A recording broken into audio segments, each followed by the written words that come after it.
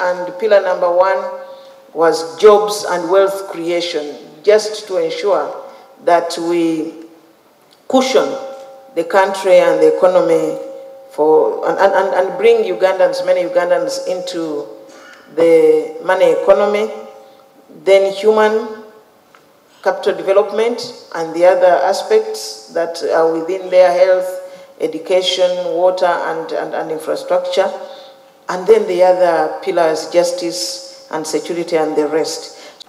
Procured and distributed oxygen plants in all the 17 regional referral hospitals, including uh, Hospital. We recruited more judicial officers to reduce on case backlog. We promoted 48 judicial officers to grade 1 magistrates, bringing the total number of the magistrates grade 1 to 212. We also appointed 16 justices of the High Court. Out of 11 health centers, three have been upgraded to health center fours.